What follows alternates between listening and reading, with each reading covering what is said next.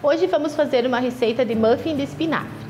Essa receita é uma forma prática de inserir o espinafre na alimentação, principalmente das crianças, visto que o espinafre é uma hortaliça rica em ferro, ácido fólico e antioxidantes que faz muito bem para o nosso organismo. Essa receita é muito prática, então vamos lá. No liquidificador vamos colocar dois ovos,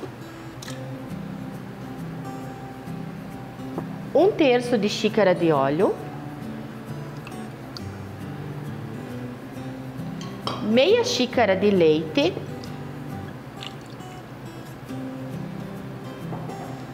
uma xícara de folhas de espinafre,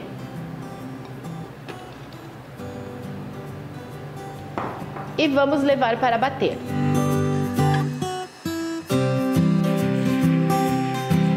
Depois de tudo bem batido, nós vamos adicionar então a nossa receita o sal. Uma xícara de farinha de aveia e uma xícara de farinha de trigo.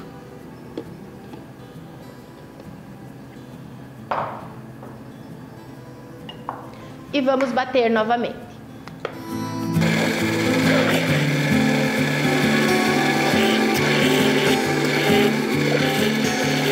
Depois de tudo bem batido, nós vamos misturar então uma colher de sopa de fermento.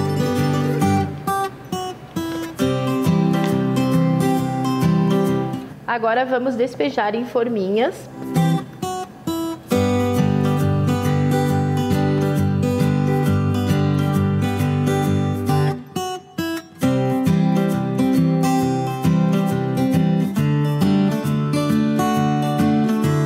Aqui estamos utilizando formas de tamanho cupcake, mas você também pode fazer em uma assadeira retangular.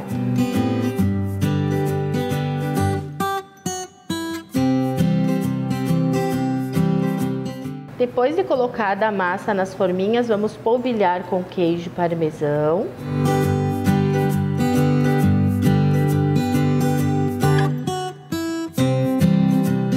E decorar com um tomate cereja cortado ao meio. Você pode utilizar outro tipo de tomate também ou fazer a decoração que achar melhor. Esta receita rende 12 porções.